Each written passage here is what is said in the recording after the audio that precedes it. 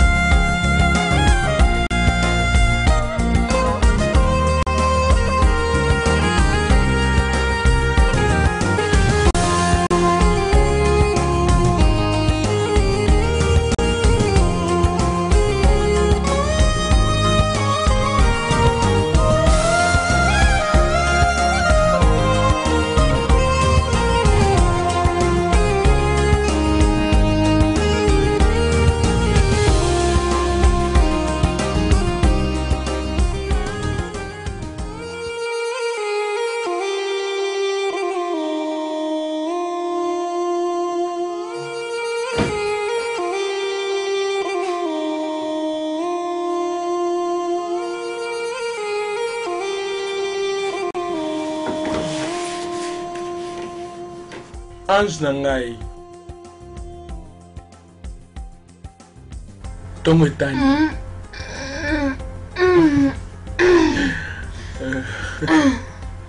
tokomi heure nini toza 9 heures passé déjà o oh, nzambe nalekani na pongi désolé ma chère mais ozalaki na posa nanga ok hmm.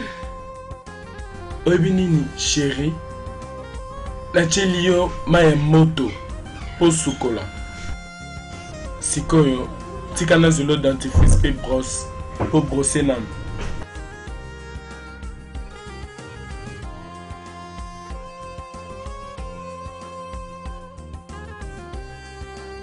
Chérie, mm. lamuka nanu ko. Mm.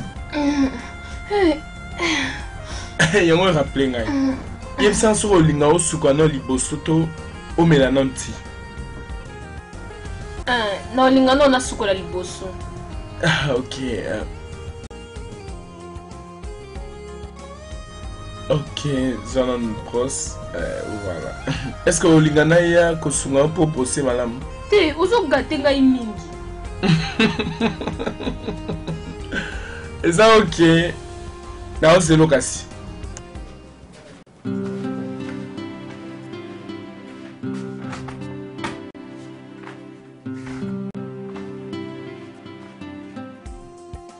nik eske osilisi nik nakanisi eza elengi mpe kitoko makasi oh merci mingi eh, tala rendre ngai service moko neti koprendre soin ya babiloko mosusu Eh, mpo batashe eza mpenza ebele nakoka kozwa charge nga moko te o oh, bebe merci mpenza mingi merci mm -hmm. Mm -hmm. malamu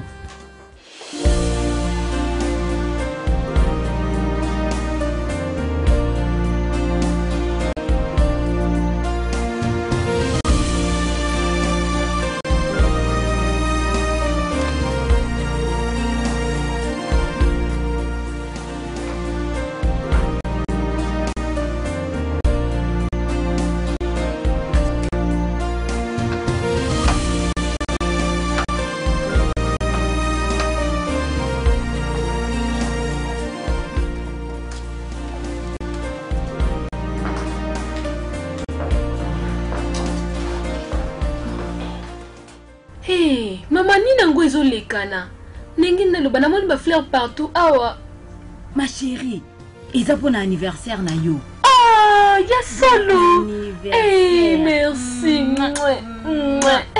joyeux anniversaire ma jo merci mm. Mm. mais oyo eleki ebele toza na nini awa ok awa toza na mayebo Wow! Awa toza na madesu na petit pois.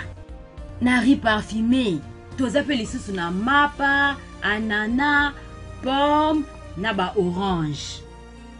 Bebe zala à l'aise. Alors, tozo banda kolia nini yango Kate? Bisika nyoso.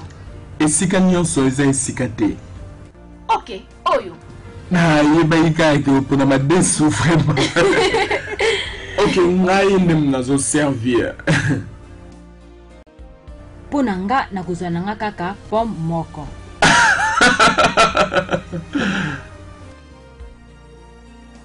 mm. ah tosambeli nanu te oh, oh mama okoki toujours kosala yango kolo merci mpo na biloko oyo opeti biso na ngonga oyo tosengi topambola yango na nkombo ya yesu kristo amen kanisa mpe baoyo na bazwi te source na yango mpe opambola yango na nkombo ya yesu kristo amen Ok maman, oyebi nini? Lokola ye aponi madesu nga mpe nakolia kaka madesu. maman. Ndenge nini eza mpenza monene oh vraiment oh mama ka nde olobi yango hmm? kaka nde olobi eza bongo eske eza kitoko eza kitoko osepeli nango hmm. Hmm. mais yo mpenza olobi eloo moko te mama ah. eza kitoko wow topema sikoyo ah, okay. Ah. Ah, chérie, oza malamu? ok. Zwa boye. Ok. Ah, merci mingi penza maman. Naza reconnaissante. Oza penza la bienvenue. omoni nayebaki ke lelo eza mokolo ya anniversaire na yo yango nasepelaki yo na mwana na ngai boya kolekisa ngonga elongo na ngai oh mama merci beaucoup odini bebe ah. telema mama ah. telema ngai ya mema ah. oh, chéri euh, voilà mama naza mpenza na esengo makasi Natikala koyeba te que nakokaki kozua pe esengo ya boye na vie na ngai. Nakotala mariage na ngai ya liboso, ezalaki le controre ya oyo nazomona. Tango mobali na ngai abandaki kolinga ngai pe kozua soin na ngai, mais pona ba membres mosusu ya famille na ye, ezalaki lokola libulu ya bakosi.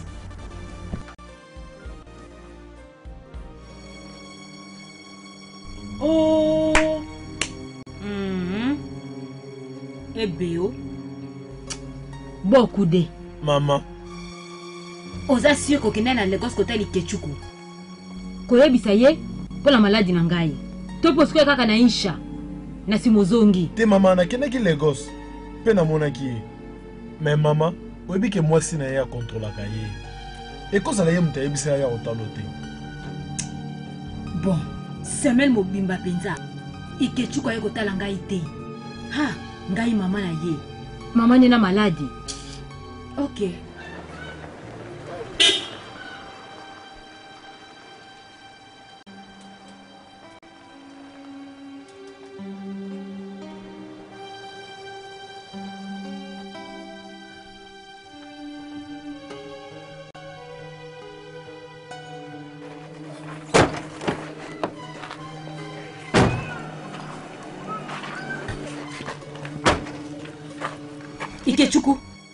Oye kotala soki nakufi mpo okunda nga. Mama bon après midi. Bonsoir mama boni yo. Bomba ngo mpo na yo moko. Ah mama wana eza mabe. Belle fille na yo. Belle fille ya nani? Eloko oyo. Eza ye te moto akontrole yo. Eza ye moto ya biso keboya kotala ngai te. Mama est-ce que oyo eza vraiment genre ya bienvenue tozo merite pa na yo kouta na voyage molai? Yango banda yo koboya koya kotala nga. Kotala nde nakomi eh. Na boye na kombo na ke obiki sikoyo alors nzambe akuma teo oh, mama biki teo oh, mama biki te te te te mema ye na lagos mpo batraite eyo eh, nini yango na yo ye nde ozali mwana liboso a ah, eske okoki kosokipe na mama te okudela aza na ye na mbongo te ata na bongo amekaki mama pame kopesaka kanda te napesaki mbongo ntango ayaki na lagos asali nango nini yango eh? combien Mbongo nini ko sa nini? Cheri tika esengeli ozala na kimia oke. Yo Kate, zala mosika makambo oyo po etali yo te. Yo moto okosa ba problème nyonso. Opekisa ya kotala nga. Maman pardon ok. Eh, tia mwasi na mosika makambo. Teo. Makambo etali yo te. Est-ce que eza ye te moto azo contrôler yo? Hein? Mobali moko azoba. oti oloba nini azokosa azobeta moto lokuta oyebi nini touti kosala voyage moko molai kosala eloko moko ya mabe te ok ok oh, nakanisaki ozoya kobeta ngai ya kobunda mpo oza na mbongo okanisi ngai na kobanga yo babangisa nani yango baza na nini yango mbongo na bango ezaka ntina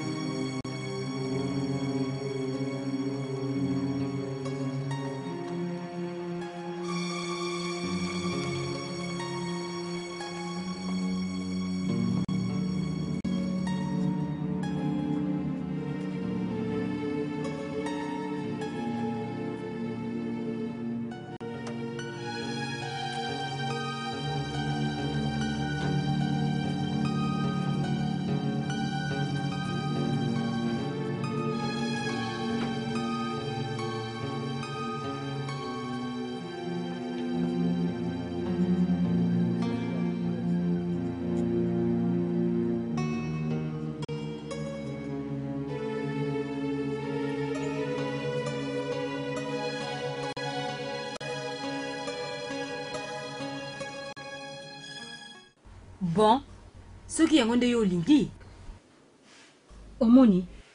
Il faut alanda bango nao na Lagos. Mais maman, ndenge nini oza sur que ekosimba? Esimbi dejà. Nayebi kalingaka nga. Akoboya na ye te. Eh maman, ebongo soki asololaki yango na mwasi na ye, pe mwasi na ye ayebise ke. Oh kudu eli. Hein? Kombo na nga eza problème. Nayebi ko gerer problème nioso. Kamue eloko wana akotelema na nzela na ngai te ye nani? Ok sikoyo olingi nga naya Lagos mukolo nini? Okudili kobanga te tala malembe malembe naza maman na yo yo talela nde ngai okomona aza muana na ngai yango natindaka yo kuna epa na ye. soki naza maladi eh, mais mama amoni koza malamu mpo na yo okodele naza kaka maladi mama e hey, mama sukasuka osali yango tala mama ata soki osenga na ye na mokili oyo 10 fois nalingaka ye oza mama na ngai yo mpo okonti oza mwana na nga mama ok mama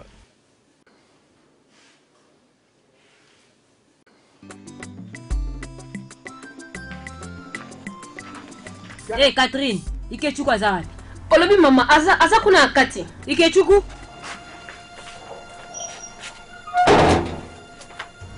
Ah, ah. Mama bonsoir. Tisiko la nante yango ma chère. Merci. Ikechuku? Oui mama. Yo nde moto okomi sikoyo ko servir Catherine. Maman, mabe eza wapi?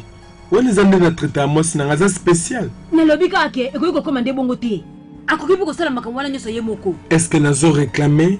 Nazo reclamer te maman, à part ça, okomona ke aza na zemi? Ah. Est-ce que ye nde mwasi ya liboso azwa zemi na mokili oyo? Hein?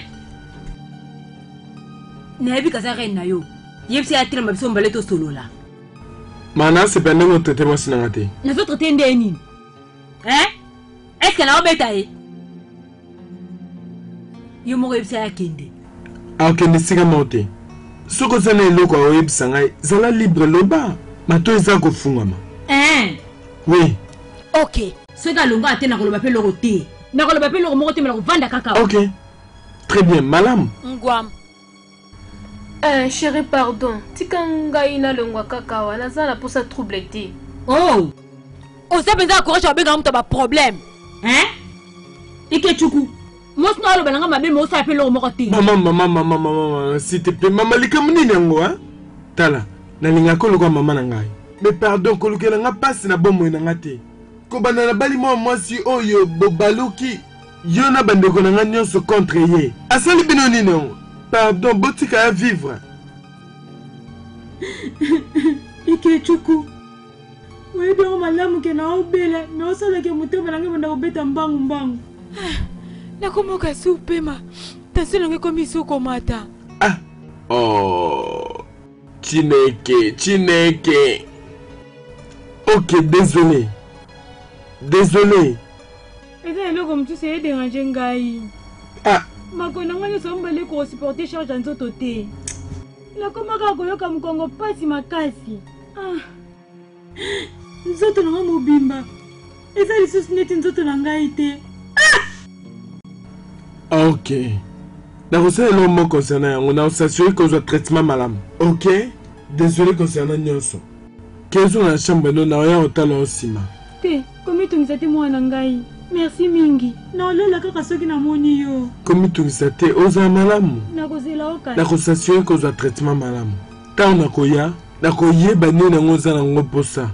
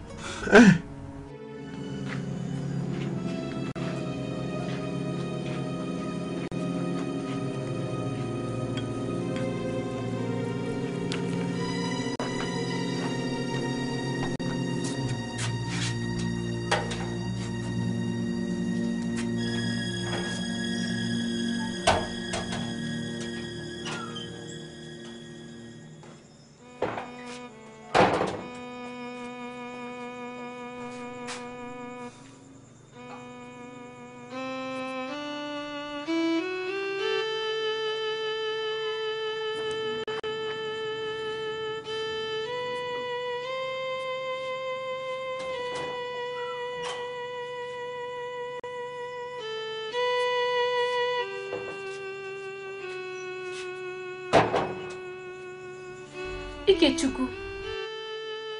Oh, chérie. Chérie, likambo nini yango? Oza malamu? Ah, likambo eza te, naza malamu. Eza lokuta. Nayebi malamu ke eza na eloko moko ezotungisa yo.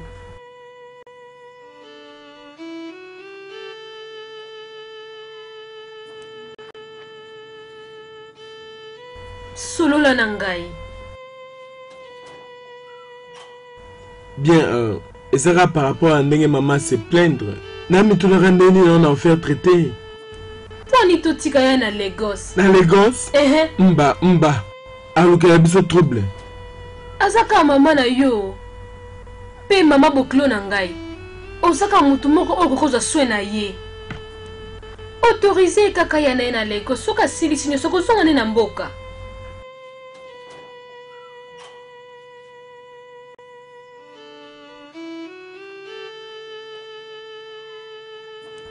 omoni euh, il faut comprendre tala en fait nalingi te moto adérange yo nalingi te moto aniokola yo mais lokola comprendre merci sikoyo malamu kasi eza yango nde efandisaki yo awa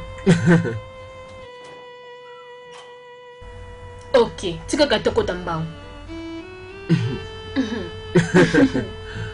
tete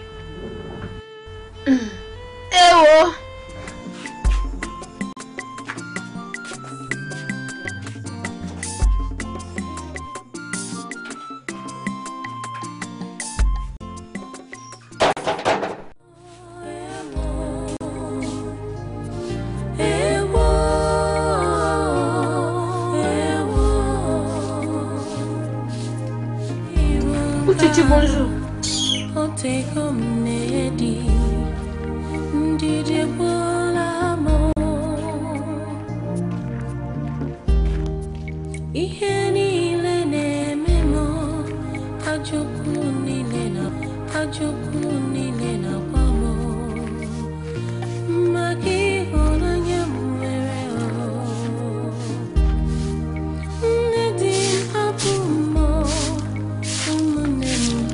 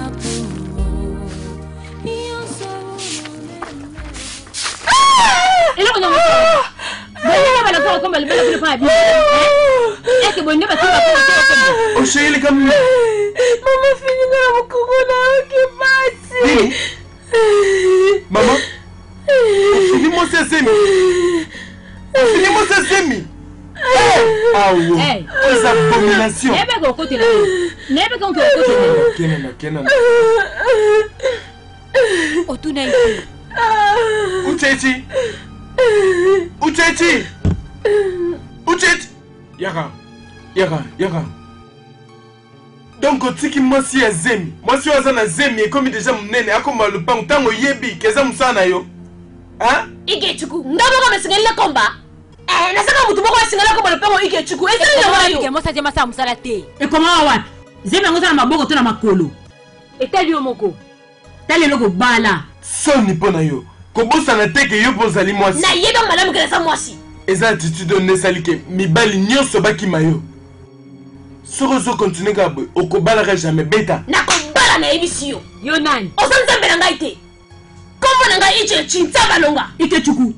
Tika maloba na ye bongo, makambo nyonso wana oloba nde ekosimba ye te. Oyoki? Ekosimba ye te. Tala makambo oloba ndeko na mwasi kaka mpo na mwa eloko wana. Eloko ezanga tina. Nzambe alimbisa pena bino mibale. Tika koloba makambo nyonso ezanga tina. Epi mpo na yo mwasi ezanga tina, okomona. Malamu. Otuli. Mama, eh? Oui. Eza kotula nde ezosala yo boye. Kende kobala te. Bondela bango, pesa bango ata mbongo baya mpo bafuta dose na yo. Mais tika kotungisa mwasi na ngai. OK? Mama, mama oyoki malamu oyo oyoki echuka otoloba. Ngai na nzambe naza ya kotula. Otula te mwana ngai. Hmm? Ikechuku. Ikechuku. Mwana nga mwasi akobala kala mingi te. Wana eza oyo bolobaka mikolo nyonso banda kala bolobaka boye abala comme ça kimia ekoto. Omona akozwa mobali eza lipa na nguba. Naza aza mbala ye te. Akobala. Akozwa mobali akobala ye. Tika bilobela akobala. Ale boza komo na bino. Bakobala ye.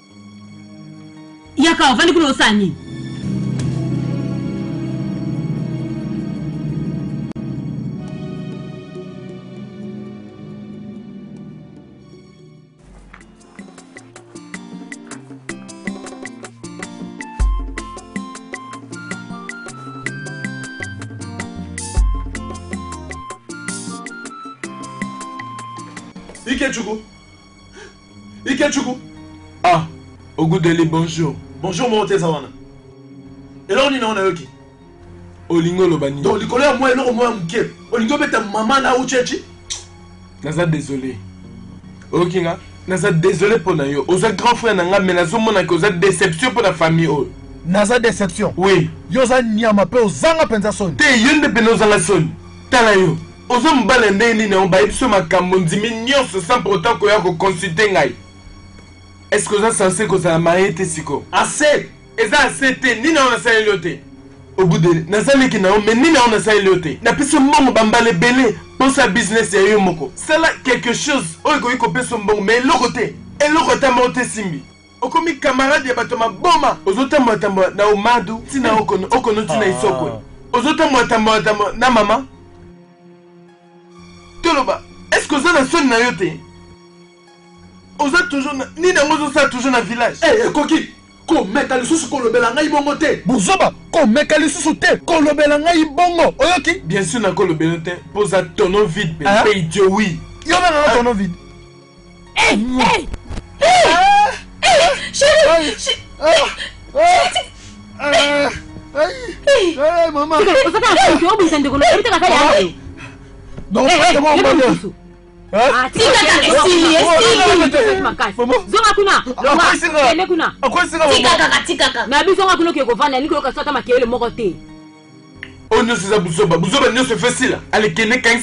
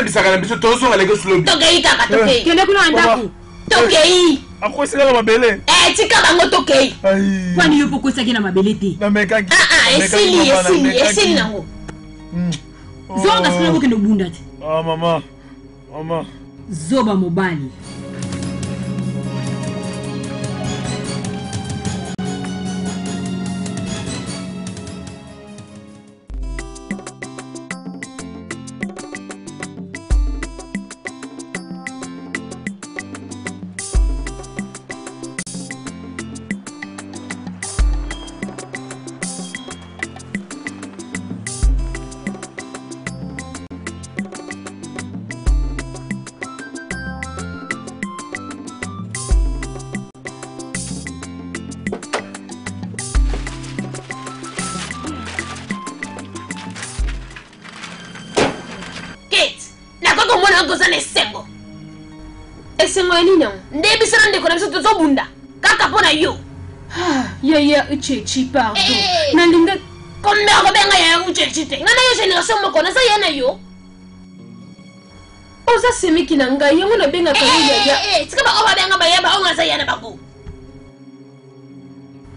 ah, ok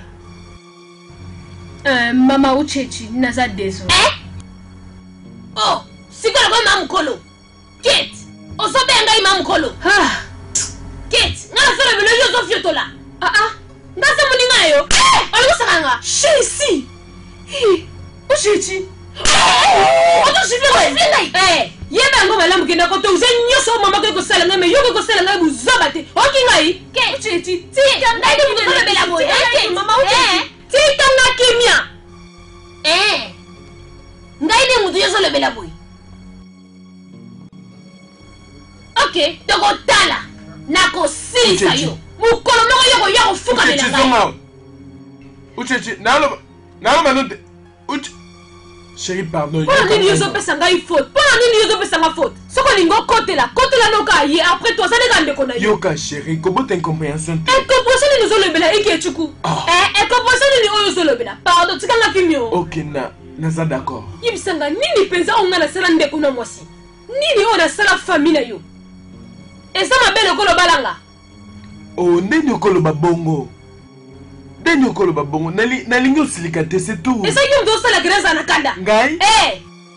soki kaka mpo na bolingo te oyebi oui na, na, na, na comprendre yango wana nalobi ke nalingi te osilika ok nayebi kozosupporte nyonso mpo olinga ngai me ngai mpe nalingaka yo ok uh, yoka uh, na kati ya bolingo makambo nyonso eyaka ok Mon amour.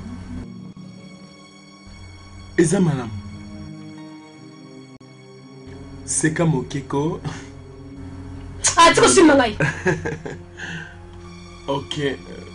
Omeli bakisi na yo. Eh. Uh -huh. ebongo fufu naza aposa malala oh nake sombelo malala kasi hein nazoya nango ah, yo zela ngai ok zala kaka calme ça va chérie tika musobo ozo salisa na nasepa nango te nazo luka malala no bango malamu oza désolé oza désolé po mbato na ozo zwa kuna yo moto zwa yango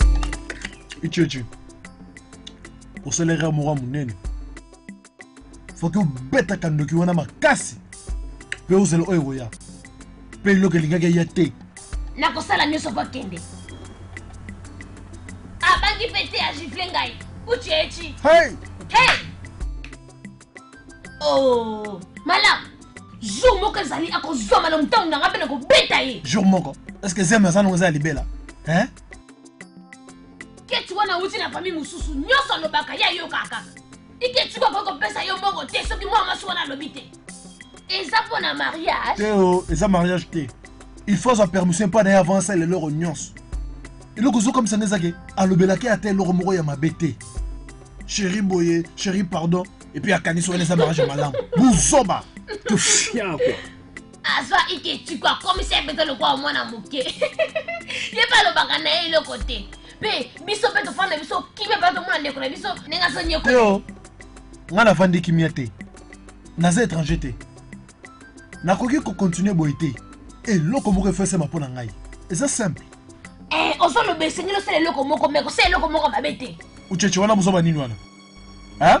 wana buzoba nini wana tala soki batindi yo oya komeka nga zonga kuna yebisa bango omoni nga te oyoki nga mutu moko talengisa nga mpe abangisa nga nazoyebisa nde oyo eza bosolo ike chiko oza lege mpa na yo oza ya na ye ebongo yo kasi hein?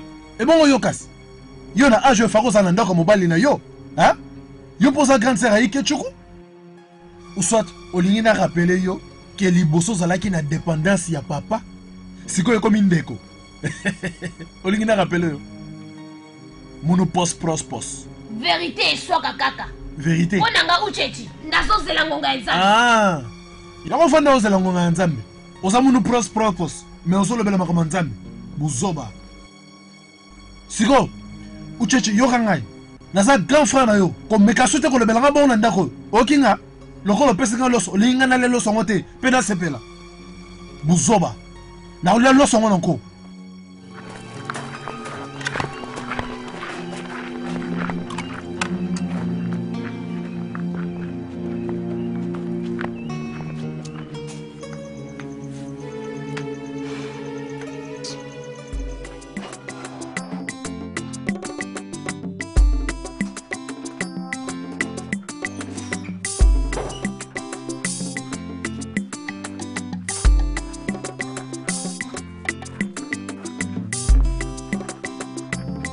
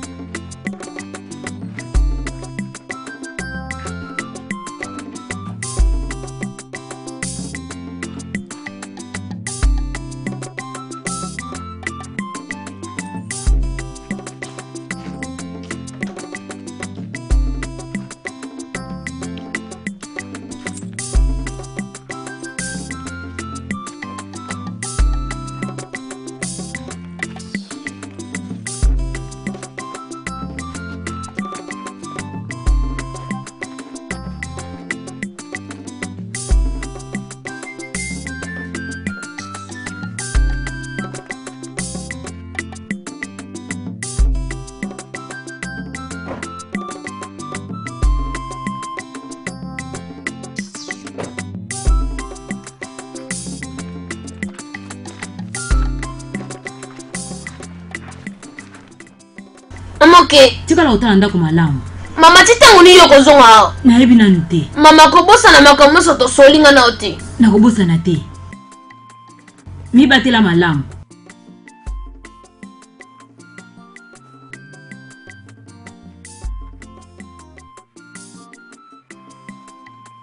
Kita lekana na sima po nga navanda. Mama, s'il te plaît ke efanda na sima. Mwasi na ngai fo afanda awa na ngai.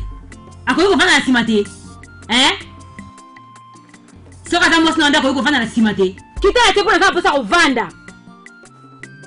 Kita noki ko? Na bisa noki okita. Oyokaka te? Na bikita noki.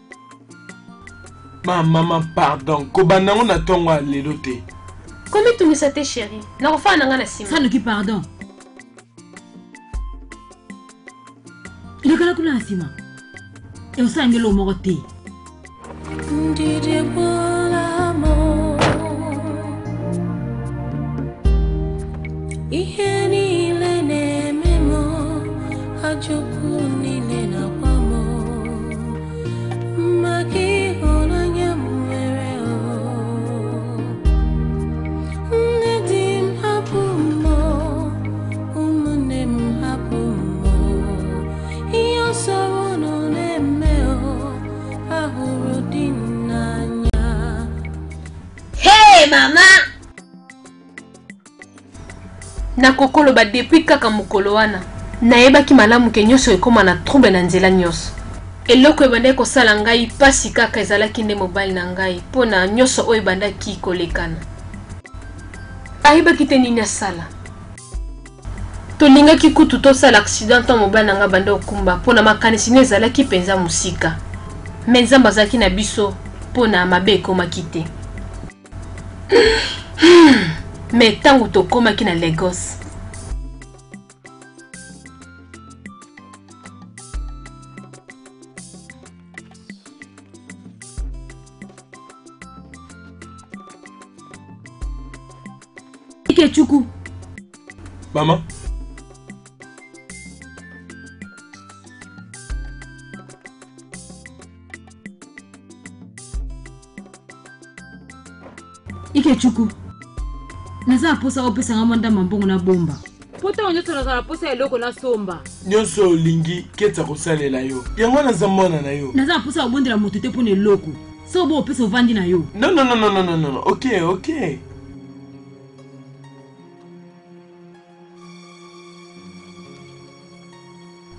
Zwa. Merci mingi. Nayebi oyo kopesa ngai. Eza na eloko moko te ekokoma entre ngai na yo mwana na ngai. Mama na mwana. Merci mukoma na mwana ngai. Merci. elengi mpenza ya kobota ok malamu sheri oh ma sheri pardon mibatela eh? mwana nga moko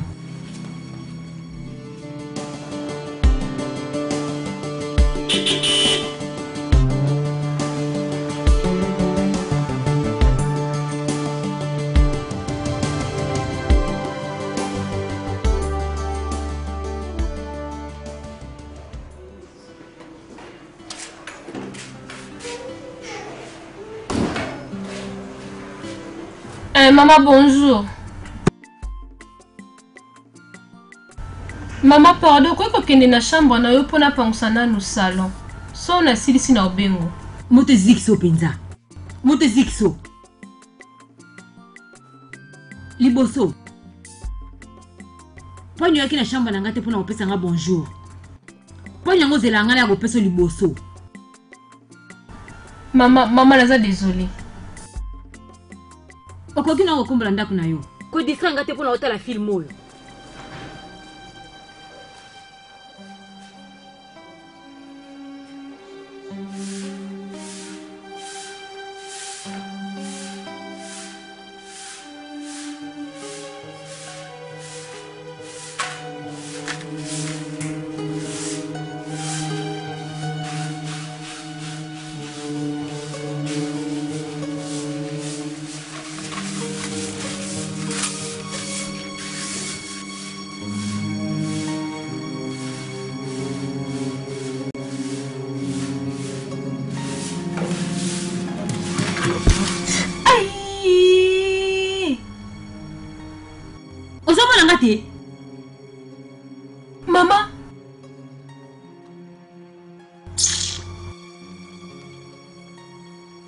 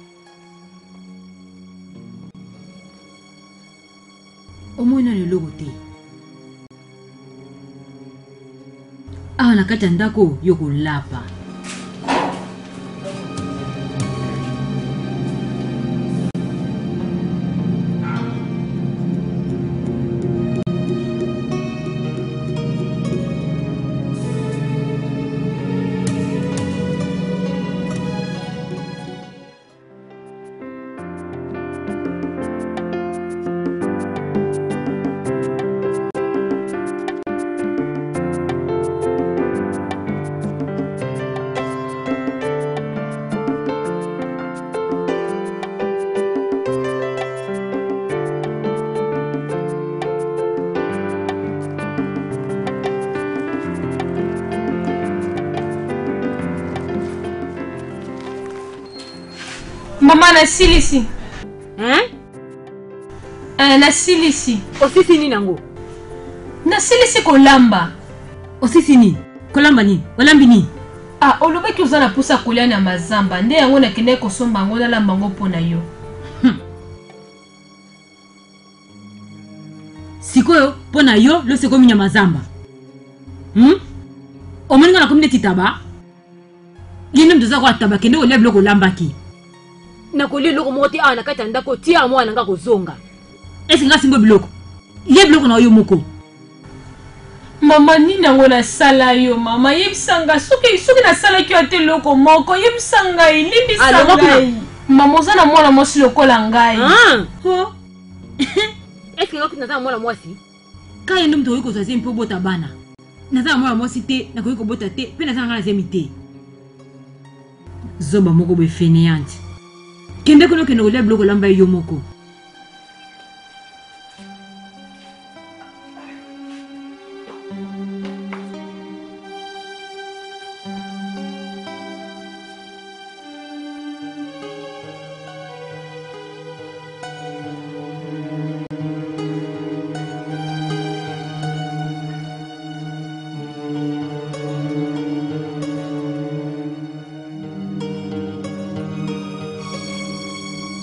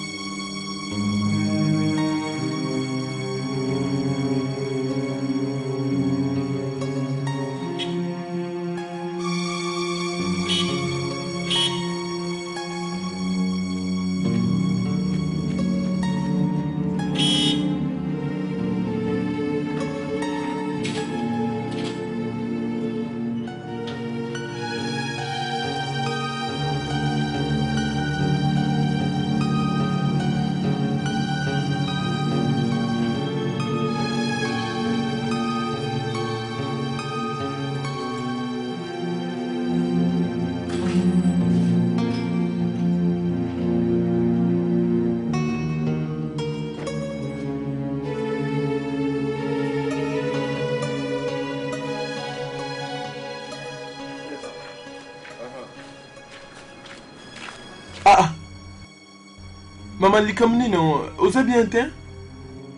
Problème eza nini? Bien olobaki kolinga ba traite yo na kisa bukoko. Natindaki Traoré. Ayaki ko traite yo te? Ayaki. Ok. Alors problème eza nini? Nalia te loko moko te depuis tongo. Hein? Keta bo opesa nga biloko. Non non. Kamata. Yebisa nga eza lokuta. Eza mpenza ya solo. Kende kasi kotuna ye. Hmm.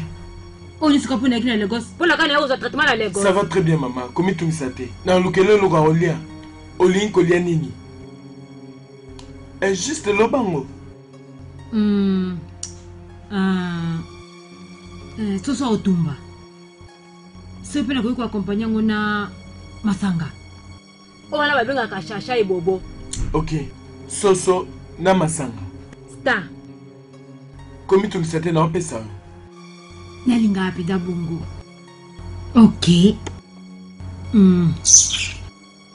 okomona makambo ngai na kosala kati ya ndako oyo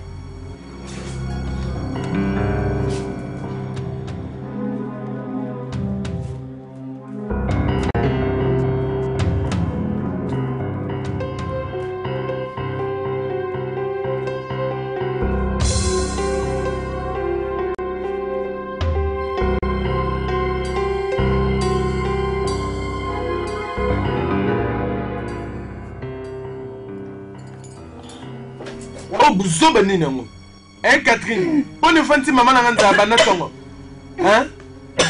nazoloba na okomi babaokobamba nga na motu eh. alors panza na motu kasi panza na motu nakomonake bavisi mosusu balongoli yango na bongo na eh, soki oyebi ke komolo ezali ke ecuku simba ngai ok tokotala tokotala na nini tika na mwana ngo kaka sikoyo ikechuku nyonso kaka mpo nabalaki yo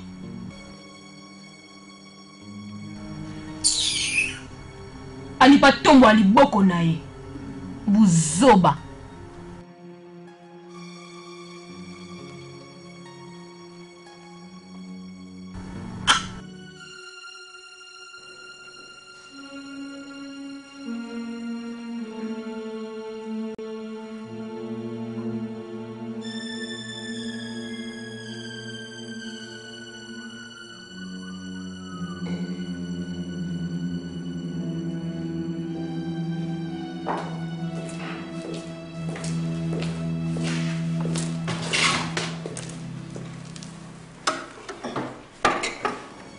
ok oyo eza soso na yo mpe masanga merci mwana ngai merci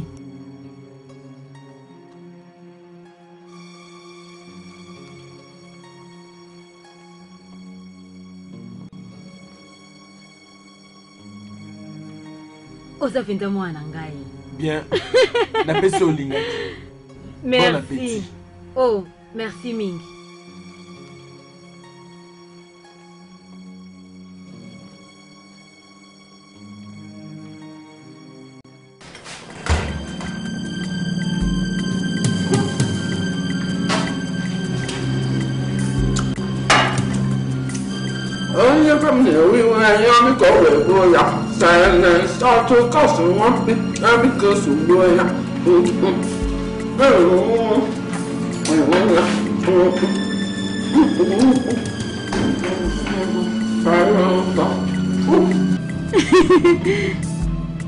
oyo eza na oka ebandeli oza na mposa oyeba te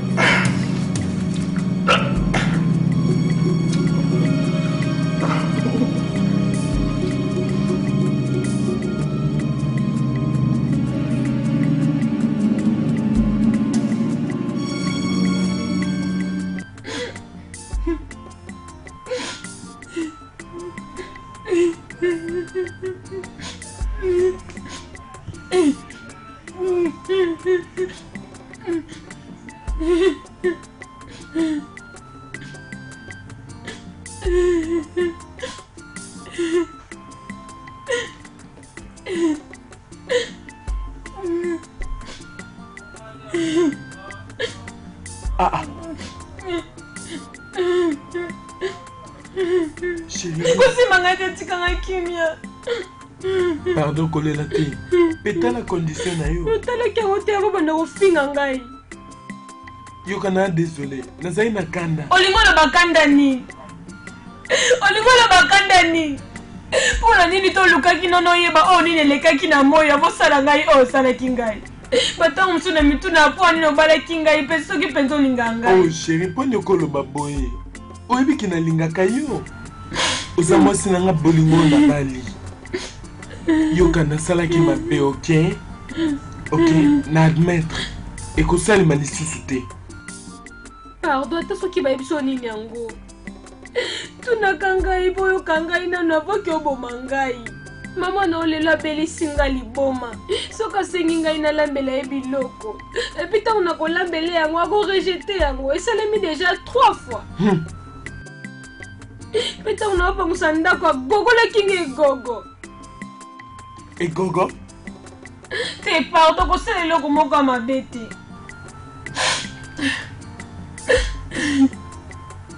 na oyo asali na bareaktio na yo na traitement oyo nazozwa eza na se mpo na kofaire vivre ngai me non s'il te plaît chéri yoka nyonso ekozala malamu pardon chéri mpo ya nini azosala ngai boye azosala ke nakanisa bapara na ngai bakufa oyebaki malamu modele ya baparent na ngai oprometaki okozala na ngai okolinga ngai mpo okozwa swe na ngai siko mpo nini nyonso oyo mpo nini ozosala nyonso ngai naza désolé ke naza, naza vraiment désolé chéri ça va ok hein? eza malamu okoza malamu nyonso ekosimba zalaka ye ok nyonso ekozala malamu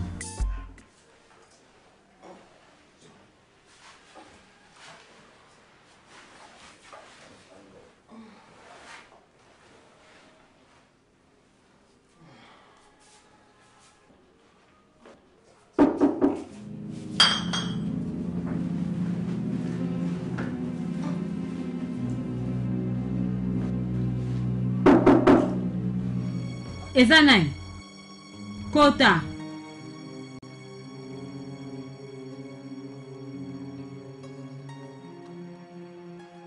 Maman, bonjour. Maman, bonjour.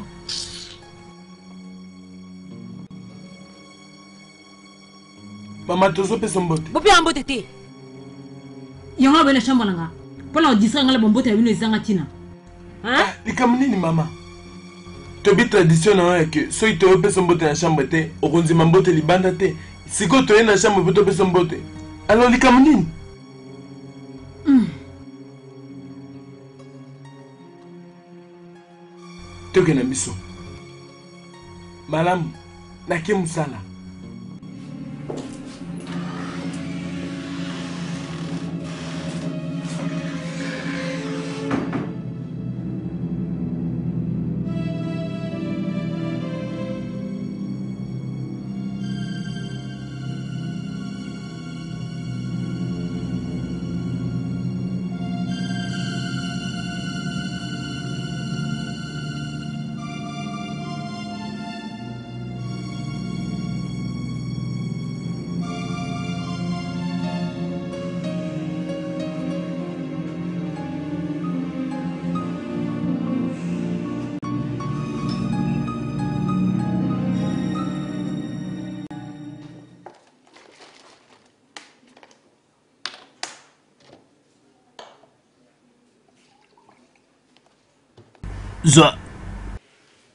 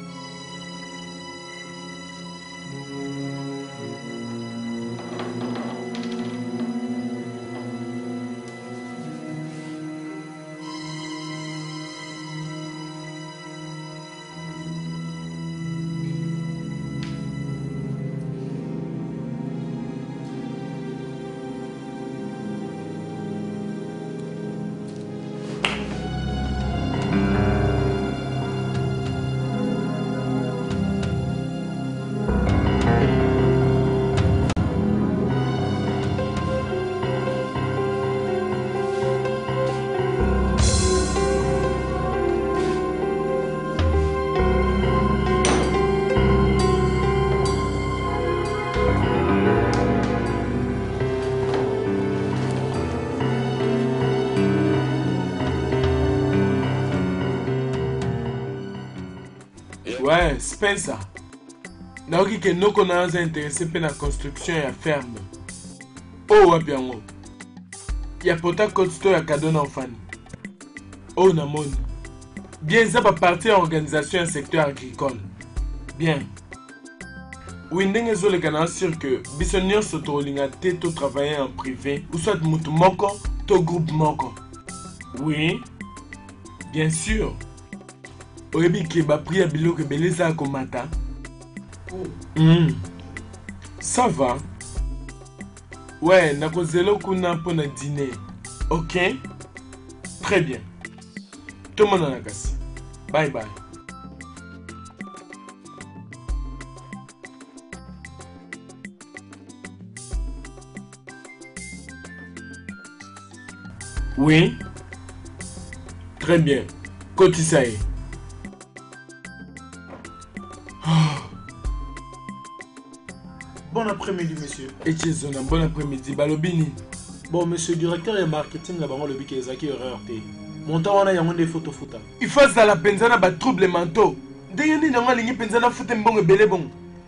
ntango tozalaki na molili awa baza biso eloka banai nayebi combien nafutaka mikolo nyonso kaka mpo na organisation ke liboso aa ah, ah, nzambe bakanisi mpe natoya banani nakofuta facture wana te amoyeke bayebisanga soki mbongo wana nyonso euti wapi buzoba n'importe quoi nzambe ayebi ke nakozongisa bango na nzela yebisa secrétaire abenga avocat nanga sikoyo oui monsieur mais monsieur nayebi te nayebisa bango nini mpo bango bazozela réponse na ngai est ce que okobima libanda merci monsieur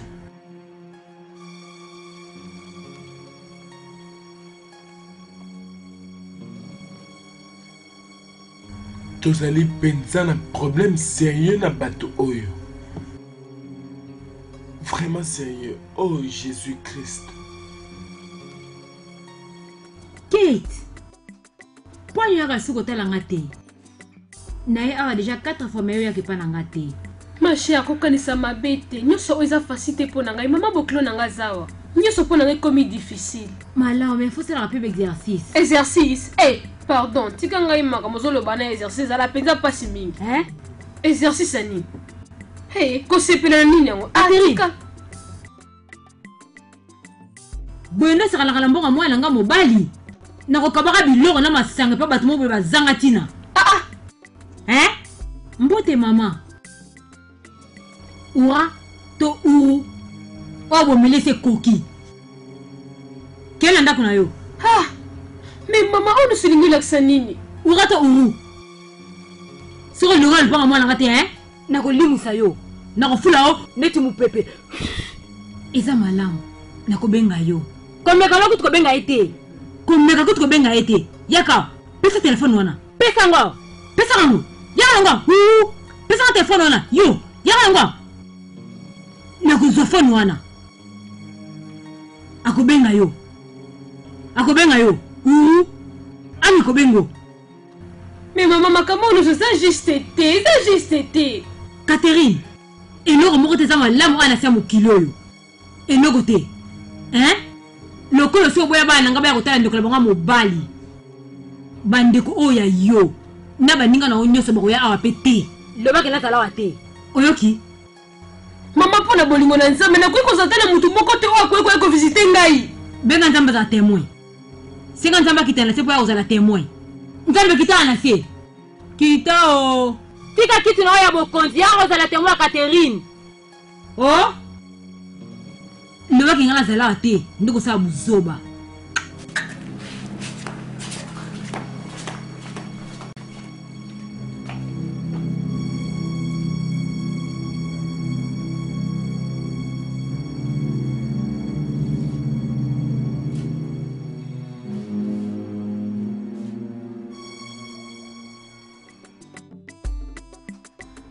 uchechi mama oso aza wapi uchechi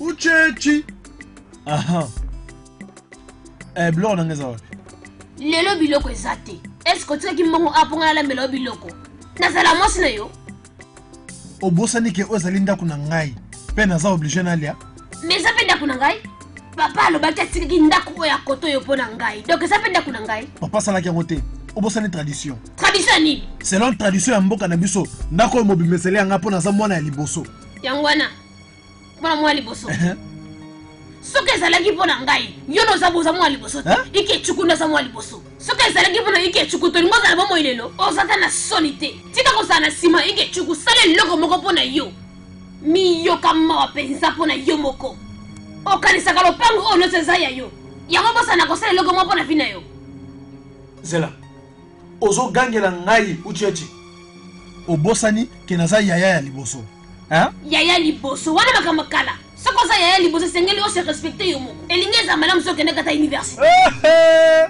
tala moto azolobela université yo okenda kuna na université mpo na koyokola peinture emema eh, yo wapi wapi ozolobela université ngai naza meyake yo naza na mbongo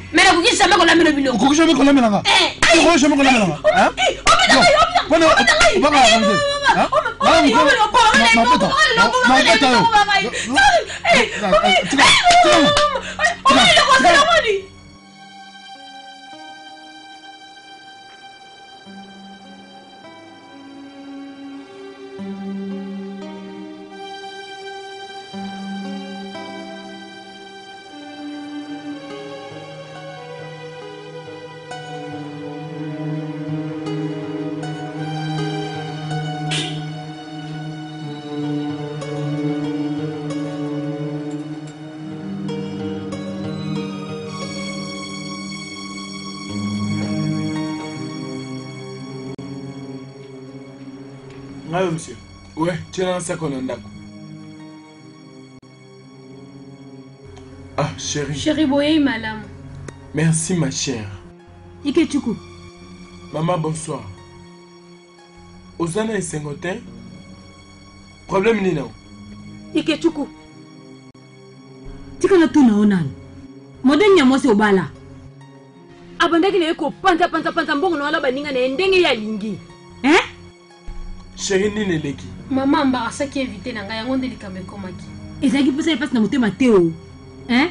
abandaki nde kosombasomba biloko kokabakaba na baninga na ye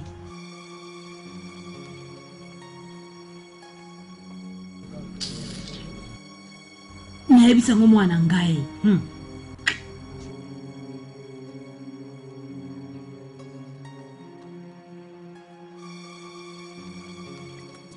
Spencer nako comprendre que yo na ba membre ya famille na bino bo beneficiaka na ba vente ya ba immeuble.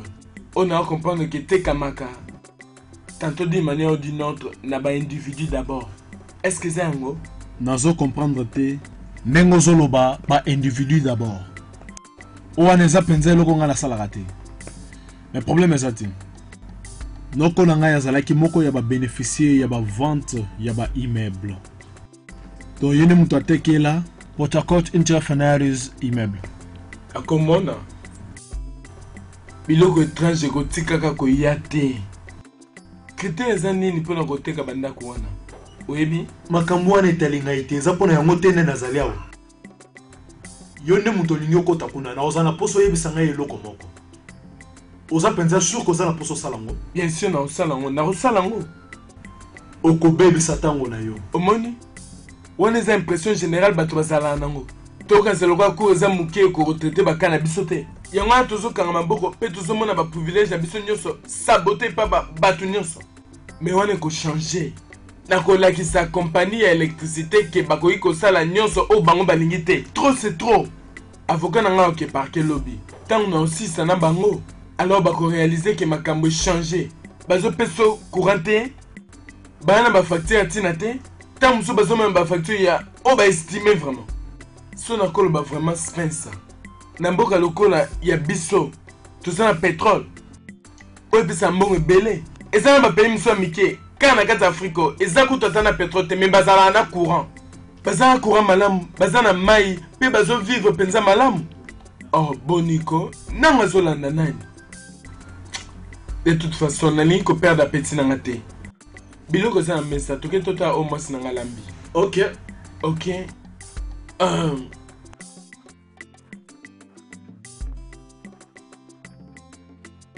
Ok. Fanda. Oh, merci. En fait, eh, euh, au moins, on a un mec à ça que. Euh, Sokotani. Maman mbote na yo. Maman nazo peso mbote boni santé. Kopesa mbote te. okoki kovanda na ndako na yo te ovanda na ndako na yo te ah ozoka ata soni te mpo olingi olia eske ozalaki na programme soki okanisi ya mpenza okolia omikosi na kekasi na biloko yango mama ah. limbisa ngai spencer zela spencer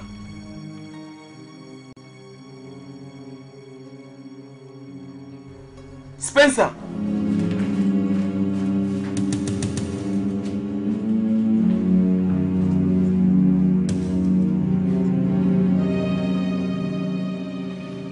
mama oyebi se mwa mobali wana aza nani eske oyebi soki aza nani ata soki aza nani ayekola nde ndenge nini akoki kovanda na ndako na ye Banda oye awa obengani baninga na nga nyonso libanda. Sikoyo mama makambo omemi yango na niveau moko terrible.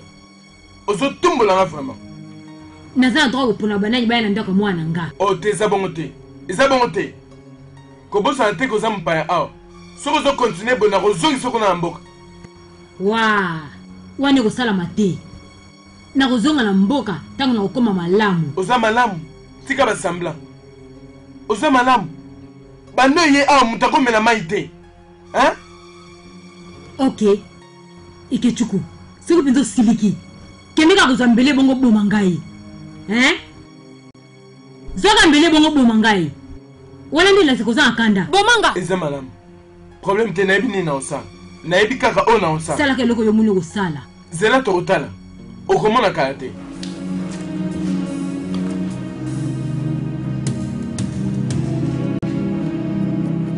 baninga moko bafeneya nde naokasa batika lawa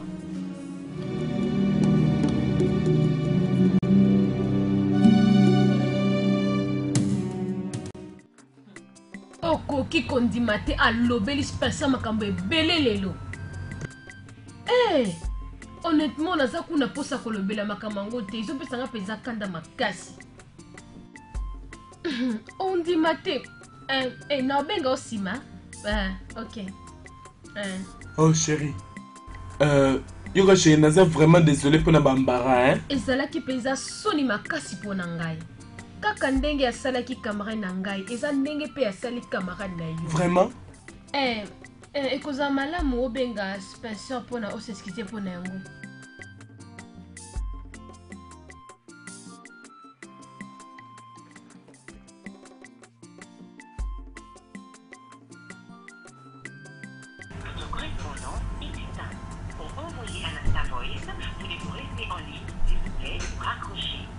namoni lokola ezolekana te ya mpo ani tobenga ye kaka lobi kaka ndenge olobi nakosala yango Ah, chérie, Ah, Docteur Koko alobi okende komona ye. Mpo na nini? En fait, mpo na nini ngambo na nga? nayebi te nabandaki koyoka bien te mpe nakendaki komona ye aexaminaki ngai atuni ngai bakestion ndambo mpe alobi ke esengeli yo mpe oke komona ye oyo eza étrange eza étrange est ce que alobi to ensemble te aloba ye kaka soki ozwi temps okende komona ye hmm. ok nakomona ye lobi so nauti mosala ok ok um, nakoki koserve yo dine mm -mm. na perde apeti na ngai mpo na nini nayebi uh, c'est bon uh,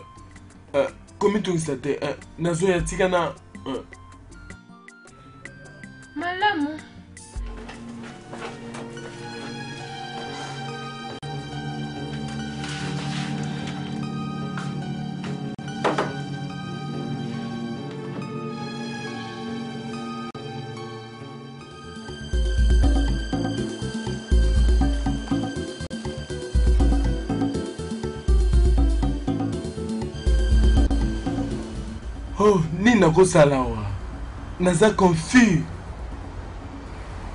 nalinga mwasi na ngai nalinga mpe mama na ngai Mais eh, ah, docteur, ah, eza solo te.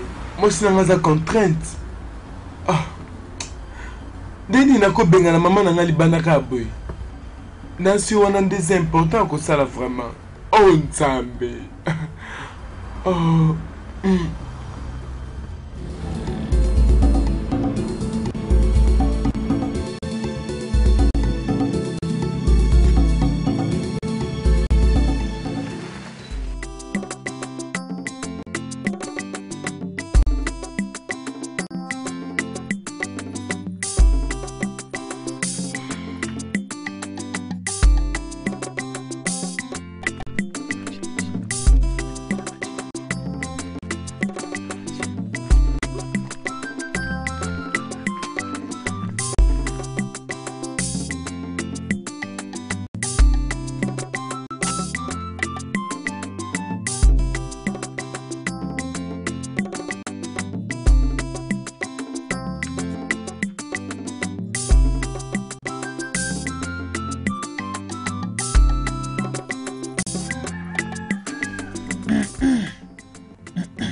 noko na ngai nayambi yo ocecu mwana na ngai nasepelaka na oyo osalaka hmm?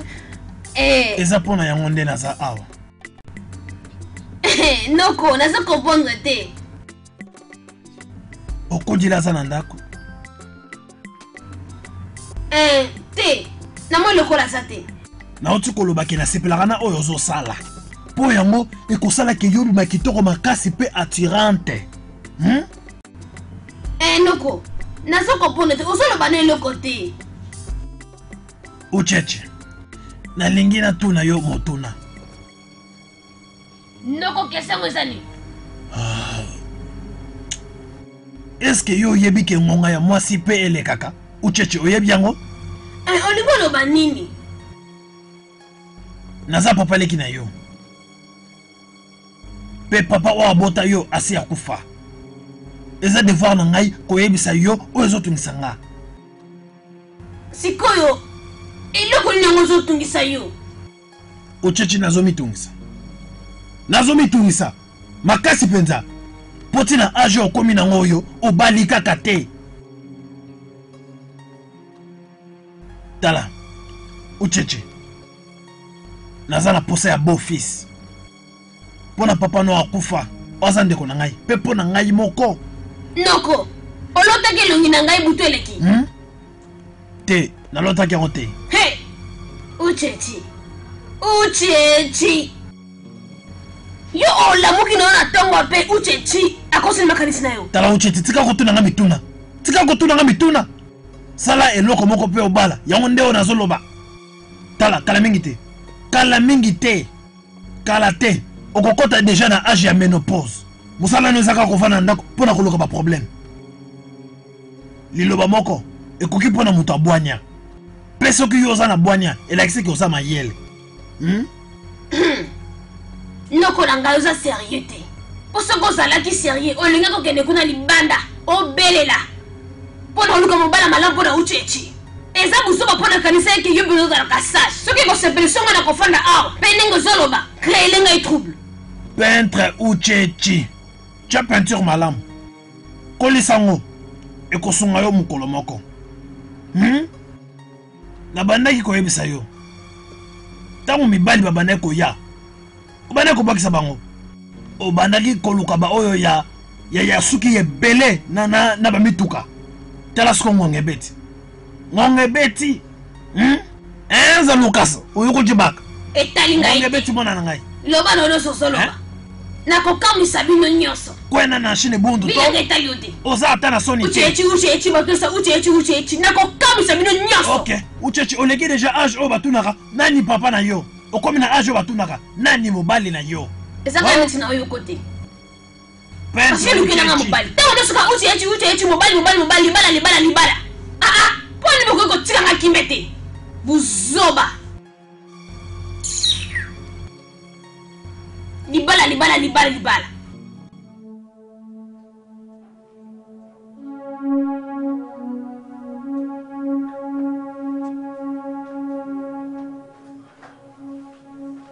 ikechuku boni makambo nyonso obudeli nini yango osala oyebisaki nga te ke ozoya mpe sekretere ayebisi nga te ke ozawa ee eh, eh, nazalaki na mposa kaka omona nga nga mpe namona yo mpo nazala alaise Sikoyo ndenge omoni nga, nga pe namoni yo.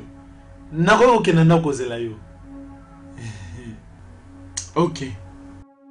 Pona nini oye kotala ngai? Pona kaka koyebisa yo ke naza desole pona oyo elekaki na mboka tango oyaki mbala ya suka. Naza penza desole. Alors wana nde tina oyeli? Ee. Ok. Nandimi bolimbisi na yo kasi. Haa, merci mingi. e, e, eloko mosusu na, na, naza na mposa osunga na mbongo mwa moke mbongo moko lokola 400000 mpo nabanda bizinesi mosusu nakopesa yo mbongo ata moke te oyoki ngai nakopesa mbongo te nini yango ekomeli 300000 naira oyo napesaki yo ah. dans moins de 4 mois nini yango osali nango oh, eza kutu problème ya osenga mbongo te mais ah, na bolingo ya nzambe sala quelque chose banda business mpe nsima obala ah. Ikechukwu, ifake mwana oyo ekomelaki ngai. Miyibi bayibaki ngai mbongo nyonso. Babetaki ngai, banyongaki ngai makofi na makofi. Bangaki kutu baboma ngai. Nzambe merci ndenge nazaka na bomoi. Miyibi ya lokuta. Ebongo mbongo mosusu wana napesaki yo? Ikechukwu, mbala suka. Oyo eza mbala suka, nakozonga lisusu kotungisa yo te. Pardon. Naza na mbongo te. Point final. Hey! ok nayebi kosala yango me oza nde okipe hmm? kanisa na ntina na yango nake kozela yo na ndako nzambe apambola yo hey, merci nazozela yo na ndako hey. Nzambe, nga penza na botami na famille ya lolenge nini hein? Likambo nini? Ngonga nionso likambo moko mosusu elandi sima.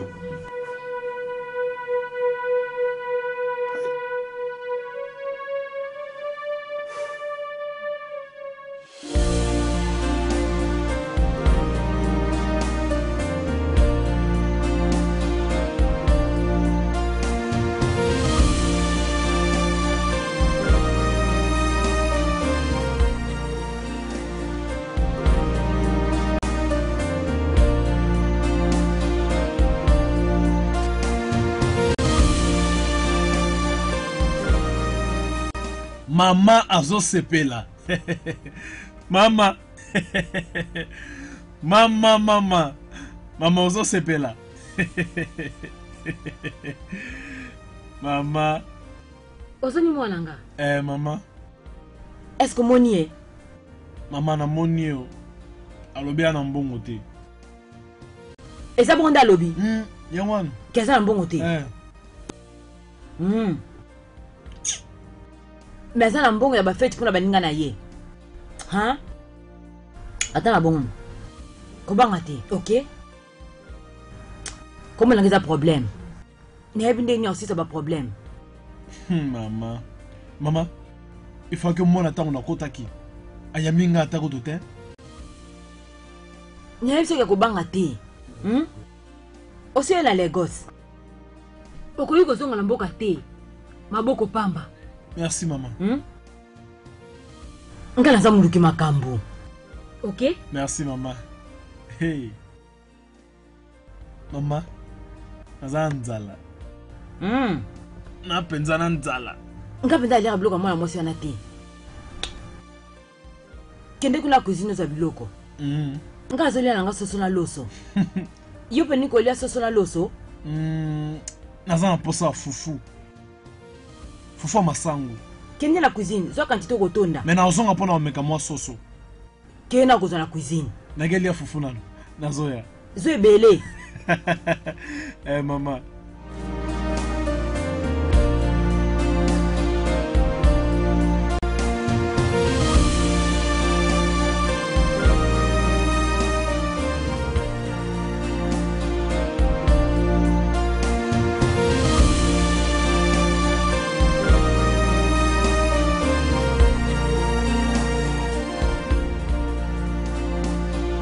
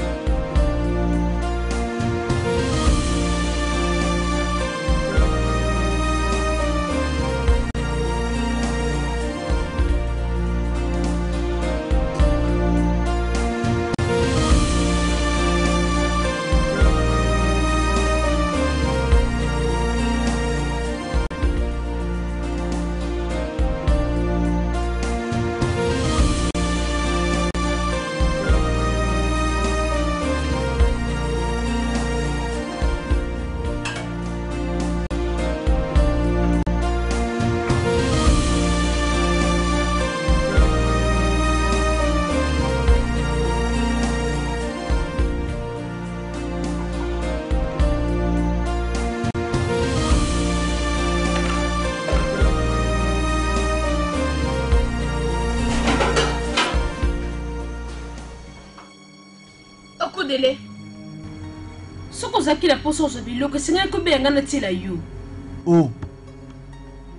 il faut nazwa permission epai na yo avant nazwa biloko na ndako ya ndeko na ngai eh? zela nano natuna yo motuna eske oyo eza ndako na yo to mpe cuisine oyo eh, eza ya yo eza yango te nga nalobi siko eza nini ke ngai esengeli nalia te na ndako ya ndeko na ngai oza stupide ozali mpenza stupide okudele naosepela ndenge oloba te soki ozosepela na ndenge nazoloba te kende na lifelu mpe odaye kuna soki oyoka keti soki omeki lisusu kobimisa liloba moko nakoyebisa mpo ani babengaka nga okudele moto epeta okudele soki nga nazo respecte yo eza kaka mposa ya ya mobali na nga eloko mosusu te ah. bokorespecte nga te osala nini naza na mposa orespecte nga te hein? yaka awa nazolobela yo naloba eloko nini okoki kosala lakisa nde eloko yango okoki kosala yo molimo mabe zoba ya mwasi okudela ebima na kuzini nanga siko kizenga mobali ah! kobenga nga kizengi te oza liboma okudele ya solo jufle nga ozobenga nga kizengi na ndako ya ndeko na nga ah, naza mwana ya liboso awa oyebi yango okudile likambo nini yango ezolekana awa na naposa na lia likambo nini yango awa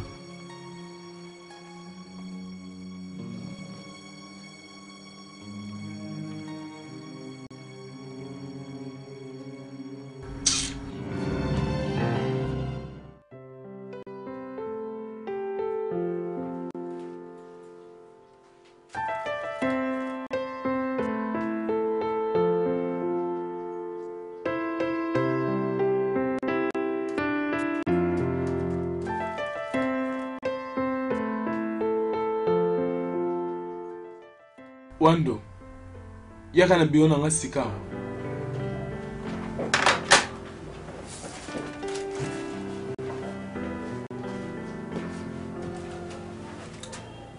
Saisir yango mpe dispatche yango immédiatement.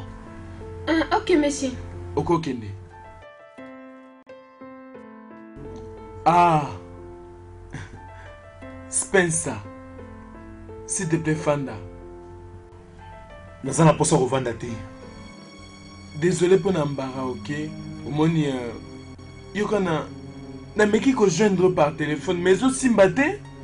Ike, ndenge nakokaki koyamba mpe na yo ntango na présence na yo mama na yo afingaki ngai likolo ya biloko ya kolia yo moto oyebi niveau na ngai bien yango wana nalobi ke naza desole ike mama no azali ndoki motema ah. dukuduku aza ndoki mpe aza lokoso ospese ozela tosala mabe wi mais garde moi respect mpo oyebi ke wana eza mama na ngai namoni yango sikoyo Donc eza kaka boye nde otikaki ye afina ngai ambarase ngai likolo ya biloko ya kolia mama na yo wana akoki ata koboma mwasi na yo ozolinga oloba ke mama na ngai aza assassin ya solo azali yango to mpe aza mosika te ya kozala yango soki mokolo mosusu omoni ngai na ndako na yo kata makolo na ngai D'ailleurs, oza genre ya bato bakoki kozala ba camarade na nga te? Oh te moto, spesa ekoma bongo te. Ekomi bongo.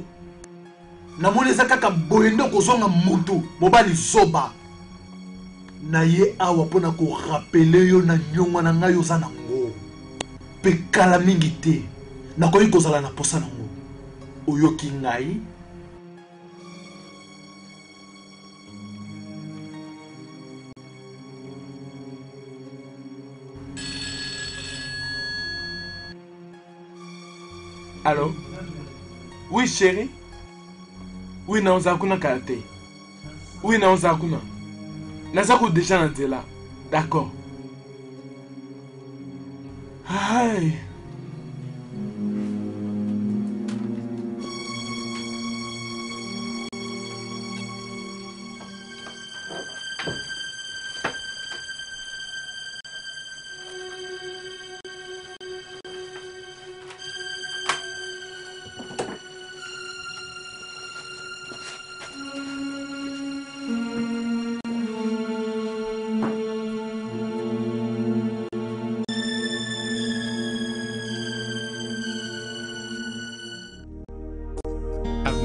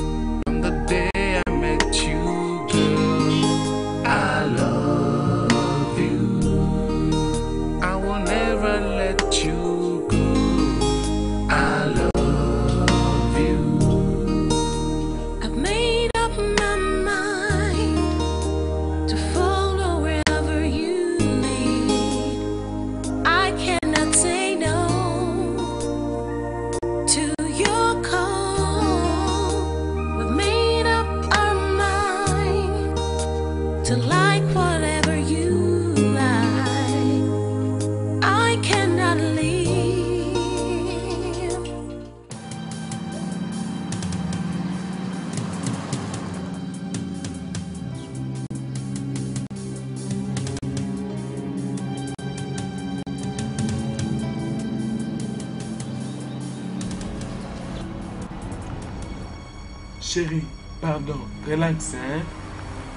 kala te toza na hôpital hein? nyonso ozala malamu nalingaka yo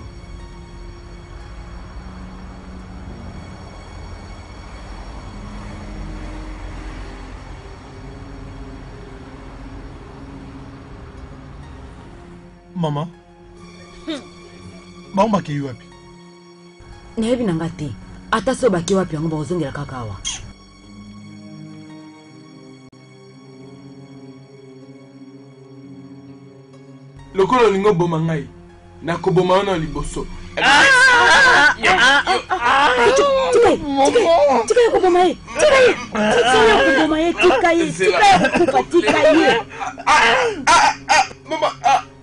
ah. olingi oboma ndeko na yo naza na ndeko ata mao te mama naza na ndeko ata mao te mpo na nini bolone wakosimba mwasi na ngai na ndako na ngai moko so mwasi na ngai asalaki mabe mpo nini akozala te ntina nde naozonga estce il faut abeta ye kaka mpo tosimbaki yango nde olingi oboma ndeko na yo nazomona mpenake bino bolingi guerre Nini yango nasali bino mpenza? Bolingi boboma ngai? Yo, oye kosenga ngai mbongo lelo na biro, mpe sikawa ozobeta mwasi na ngai na ndako na ngai. Sikoyo ozelake napesa mbongo wana? Eske okomona ndenge oza zoba? Lobi, bino mibale boolonga place oyo mpo bozonga ya village. Wana eza impossible. Mama, bolingo na ngai mpo na yo eza precieux. Eza vraiment precieux. Alors kotina ngai na mabe te. Mwasi na nga wana azali se moninga moko naza na ye, moninga moko ya solo naza na ye. Kaka ye nde moto apesaka nga esengo, amour, soin na bonheur. Mais bino, boza kaka ba ennemis penza. Bozoluka kaka pasi na nga mpe ndenge nini bokoboma ngai, mais ekosimba te. Botika biso na kimia e, botika biso na kimia. Eza penza pamba te, asala yo eloko moko. mama kingo na ngai kingo na ngai ah. ah. komitungisa te ekosila ike mwana ngai Pardon na ye awa na liboso na yo, olimbisa ngai. Okoka kolimbisa pe ye. Nakobanda wapi mpo na kolimbisa bino? Wapi? Na ndako na ngai, naza na kimia te. O soutenaka toujours au coup de nez na oyo nionso asala. Tala ye sikoyo. Na age na ye, ayebi te ni yango eza mabe, ni yango eza malamu. akochange na promettre yo mwasi na ngai azaka na hopital abandaki kosenye abandi osenye avanda longwa na hopital mama mwana bato wana asali bino nini zemi wana mpenza aza nango elongo ata yango nde kosalaki alonga na libala finalement mama mwasi na ngai asali yo nini en particulier nini yango mpenza asali yo eloko kaka moko na oyo ebezaka ke auti na agite Et puis que naboyaki basi nyonso ya agi oyo bando tindela nga mpo nabala. Soki abungisi bebe wana. Soki Catherine abungisi bebe wana, mama na jure. Famille oyo otikala kozala na kimia te. Nalinga mwasi na nga mama. Nalingaka ye. Pardon, botika bolingo na biso ya avance. Nabondeli bino. Pardon, botika. esalaka kaka biloko ya kolia moto elukaka makambo oyo nyonso kaka biloko ya kolia eh? soki kasi okoki kopesa biso mbongo mpo na ndeko na mobali na ngai tolambaka biloko na biso naza lisusu na mposa olia biloko ya mwasi na yo te mpo na kimia nakondima yo te nakondima biloko wana te olingi oloba nini bolingi bobanda olamba na ndako na ngai bolingi bokomisa place olokola nini hotel no esimba te D'ailleurs il faut bobongama deja po bozonga na village. Nayebi koza siko malamu. Pardon bobongama po bozonga na village. Te o. Oh. Na nayoki penza malamu te o. Oh. Luketi na ngai esala nango kaka pasi. Pe likolo esaka pasi. Eh il faut zonga nanu kuna liboso et puis o continuer traitement na kuna. Oyebi yango penza malamu. So siko nazongi. Nde nango kasi prendre soin na ngai kuna.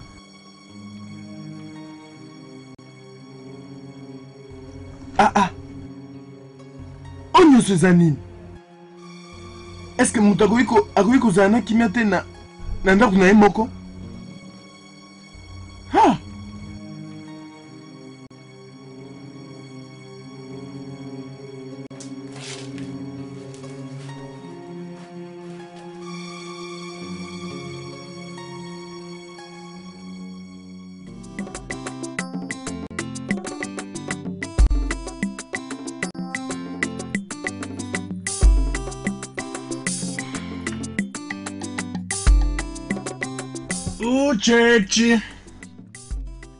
Uchechi mwana na ngai. Ah ah. Uchechi mwana na ngai. Noko ngai yeyo. Noko naza na sima nuna ya mbiyo. Uchechi. Noko. Nazo sepela na ndenge nazo sentir te.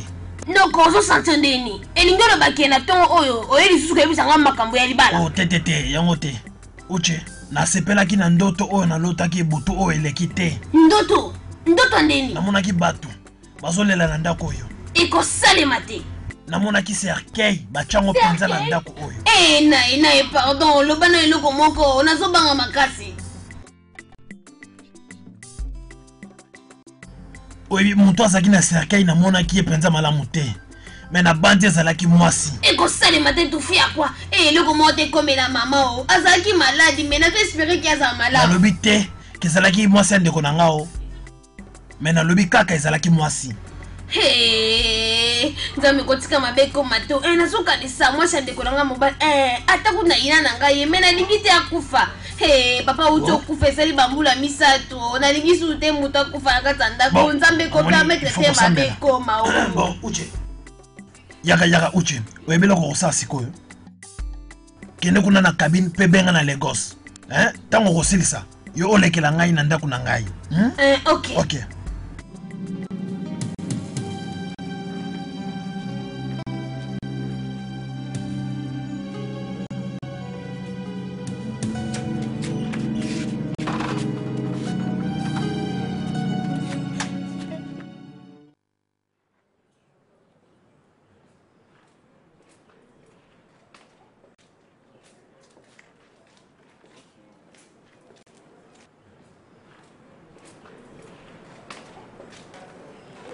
Oui, docteur Kobwe. Oui. Oui, naina bima na ndako.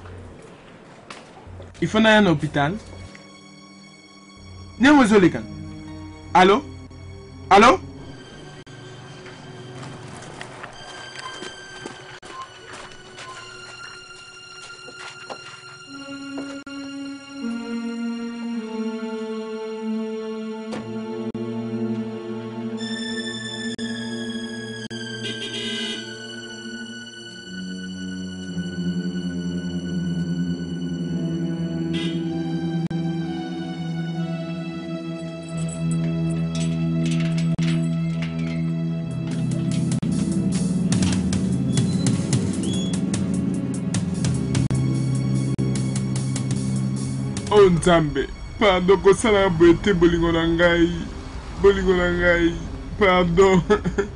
Pardon ah nzambe.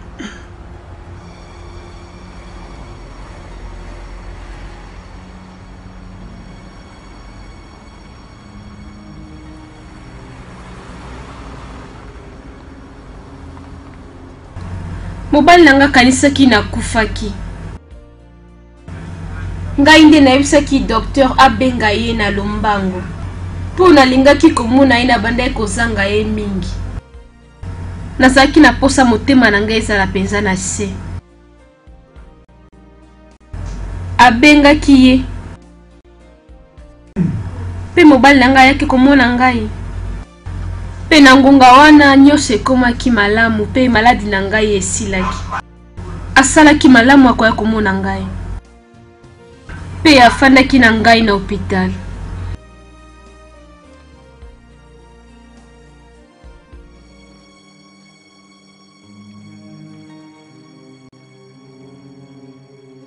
ovandi na yo mpe awa alaise ozomisepelisa ntango nga kutu na nalie te eh? mama vana longwa na ndako natikala ekolamba nayebi so obeke soki okinzala ozwa biloko nauti kokoma kasi ko nalembi okufa ata na zemi wana Yesu Kristu. Mama, olingi nakenda cuisine komitela biloko nga moko? Eza yango oyo okoki koloba mpo na zemi na ngai? Mama yo, na ndenge oza mama, mama mpe ndeko ya bishop, respect nazala nango mpo na yo esili. Oyo nyonso okozala nango mposa nakopesa yo. yo okokufa avant ke ngai nakufa mama yo mwasi mabe lokola nzambe ya kotikala nzambe eloko moko te ekoma nakobota mwana oyo mpe kozala sujet na ngai ya kokumisa nzambe namoni kozalisi na kobanga te na respecta ko lokola mama ya mobali na ngai me nakotikala kobango te nakotikala kobango su te mama opuse ngai nakoma boye naza prete mpo na yo okozala prete te ndeni na ntango obomaki baparent na yo okokolelisa ngai te mama okoka te operdre papa na ngai na mama na ngai bakufaki na aksida moko ya moto naza nzambe mpo nabebisa vi na ngai naza nzambe okobima na ndako oyo silisa na okobota mwana yesu ko toozela me okotika ndako oyo nini oyo osala te mama nini oyo yo nano osala te eza nde yo moto okoforce ngai nabima na ndako oyo ngai nabala nde yo yo nde ikecuku eloko oyo ekoki kokabola nga na ike cuku kaliwa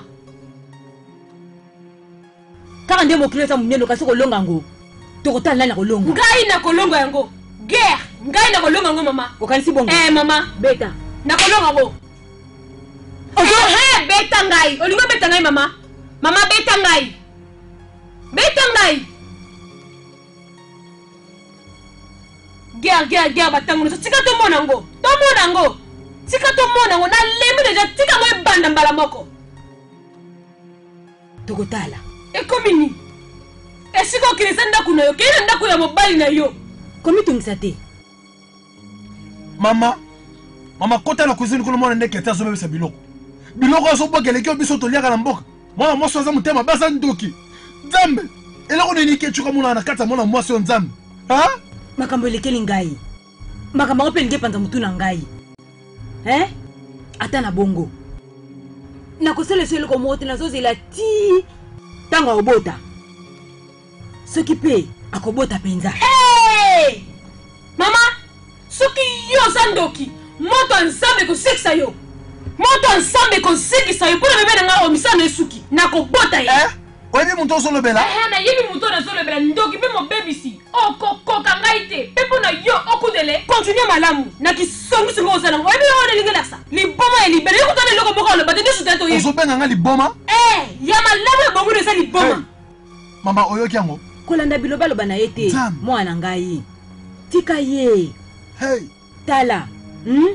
soki olamuki na ntongo mpo omoni moto ya libongo abandi kofinga yo kima na yo mpo toyebi te ekoki kozala ye nde azomono liboma yoka ngai okutele ngai nakomi sikoyo moto na katikati ya foret soki nameki komona yo susu na cuisine na ngai soki nameki susu komona makolo mibale na kati ya cuisine nakolakisa soki ngai naza likolo ya ndako soki asi naosabage meka ngai okosi oza ta na soni te nazopesa ofoti te mama tika ye kala mingi te awa ozonga na hopital soki kaka yo moto oza ndoki sete ngai nazonga kuna mobali moko azanga ntina mokolo selibate buzoba mama mwa mwasi asisinga loposo Hey!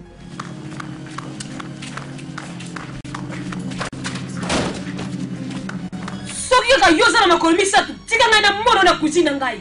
Ndoki. Hey! Akanisi mpenza komi nani? Mama. Eh, ma, mama, ike choka lobelo mote pona mbongo wana.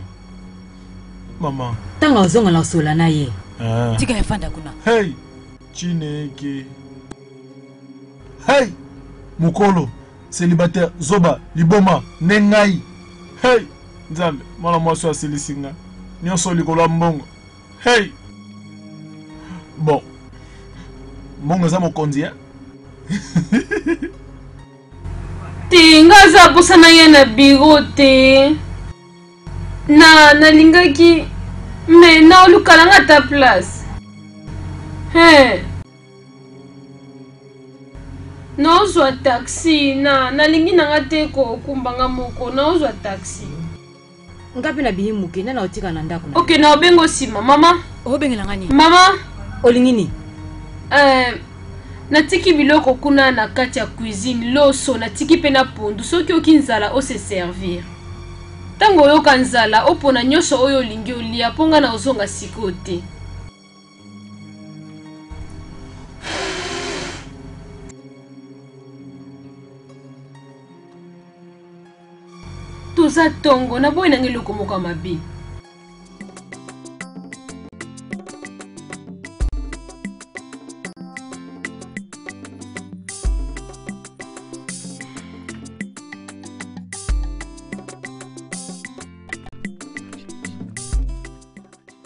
mais obengi nga oui euh, echezola nabengaki yo est ce que osilisi makambo nyonso na monsieur coplan eh monsieur est ce que kozala cash mpo opesa ordre ya cash ah ah echezola osenga yango kaka bakashi nde topesa ordre omoni il faut tosomba biloko wana na lombango mais monsieur copere atuni soki tokolivre combien de contenaire lelo euh,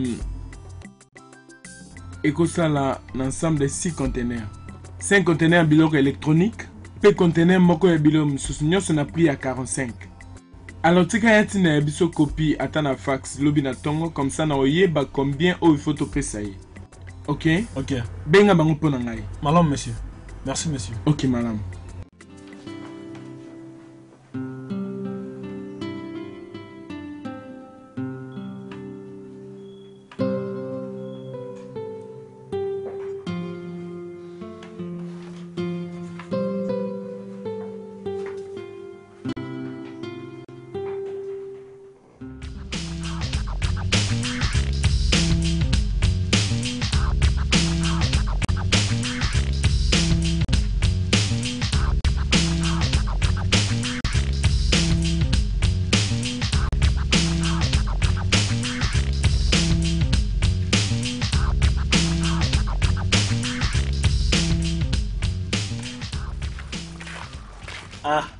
Ikechukwu.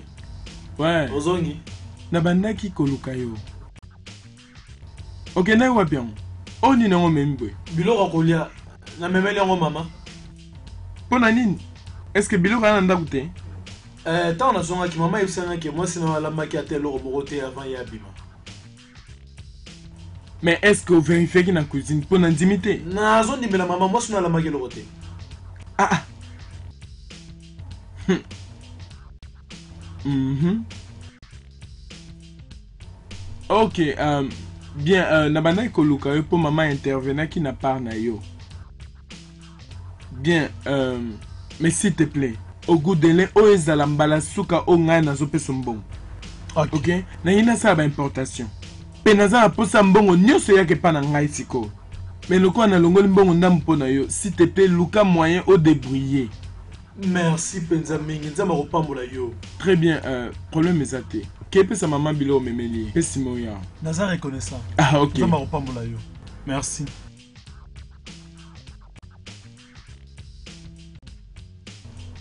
Allô Allô chérie Oza na hôpital Ok nazoya ka siko kozwa yo.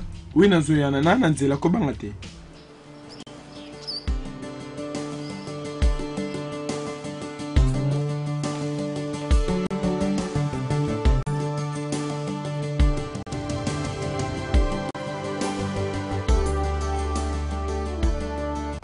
soki olambaki eloko te na ngai nalia me bayebisi ngai ke biloko ezalaki na ndako te sheri natikaki biloko na ndako te aa ah, ah, loso ezalaki natikaki mpe na pondu otuni boponi Na ngai toli ensemble. Ha! Siko olingi oloba ekotumboli no ngai. Na ndo kumba yo mabe. Pardon, kokumba ngai mabe te. Oyo osala que mwana ngai abima. Zala calme osele mambangu.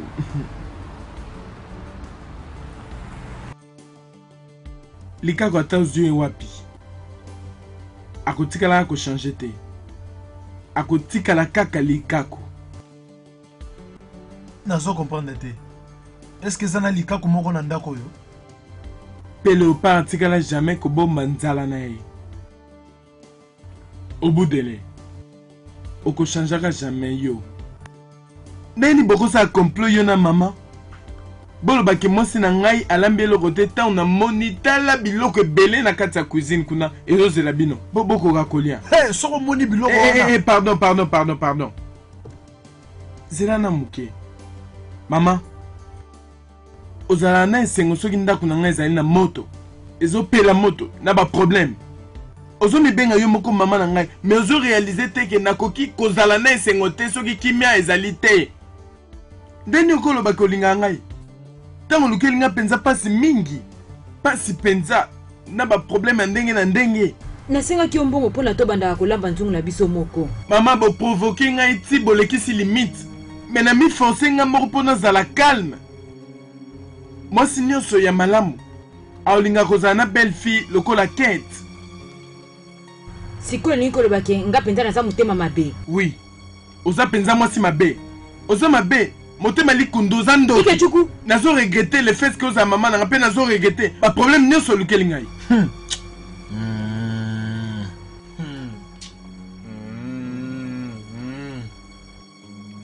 bokangisa bisaka na bino bozolongwa awa lobi bolinga te na matisa mongongo na ngai Pe maman pardon komeka kotia lisusu matambe noa te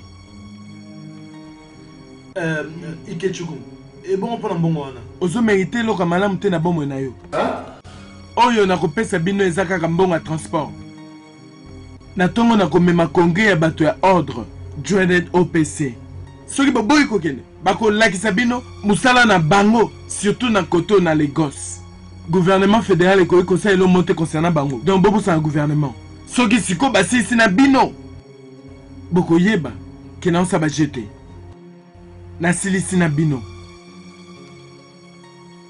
wana nyonso elobi nango eloko te naobanga mpe te opc eh? baza kaka bato neti nga hey. me alakaki nga mbongo akopesa yo mbongo tala bato ya opc bakoya mpe ntango bakokoma awa eza ye nde moto akodepase bambongo ebele eh? na ba aire wana biso tokozala deja tokenda na nyonso wana oyo biso ya koyebisa bango bapesa biso liboso mbongo aa naposa mbongo wana o aa naposa nango naposa mbongo wana hey opc lagos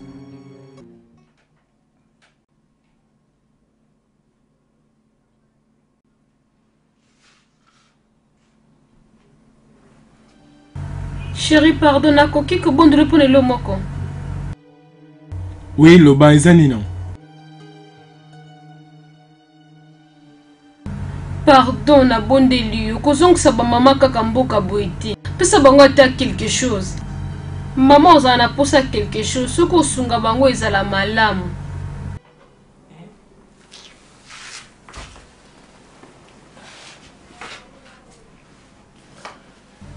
yoka ngai eh, oyebika nde bato ya village balobaka bakokanisa lokola bademande basengi oboyi kosala tika bango bakanisa oyo nyonso bakokanisa etali bango sheri etali mpe biso yoka nanu ngai ok na opense sur yango me oko comprendre mpena makambo mabomo basali eza mpenza somo soki mpo na bolingo te soki teke tolinganaki biso na biso oyebi oyo ekokaki kokoma Nayebi, mais pardon pesa nga chance oyo. Désolé ya décevant toro. En tout cas na opesa chance ata moko te. Ah. Ah. Ikechuku. Eh. Ah. Ikechuku. Ah.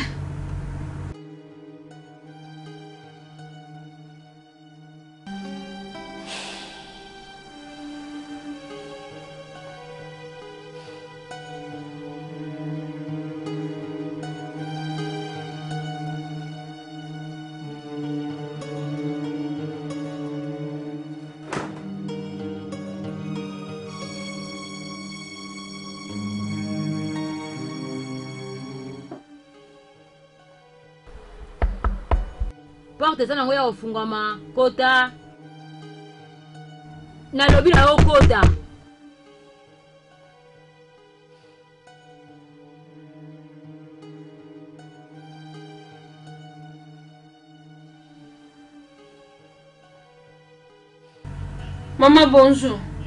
Oyaka koluka nani yango? Bima! Bima! Maman naza désolé na oyo ekomaki. Ozalaka maman moko oyo nga naza na ye. Pardon, okokende na yo esika moko te. Nakokende. Ikechukwu abengani biso na ndako mpo na yo. Tozokende. Il faut nakende. Ah, maman naza désolé. Nakokende o. Oh. Kofana te bima kuna.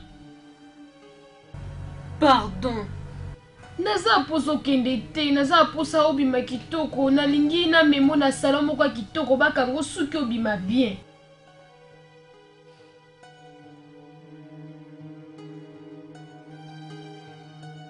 ok Naobongisa suki na nga, mais naokende kaka.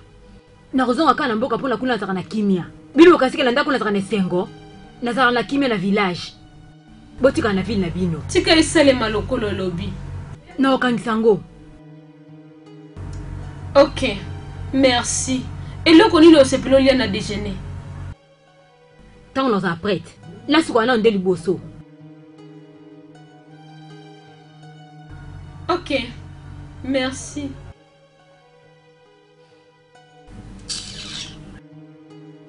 Moto moko azanga tina lokola yo.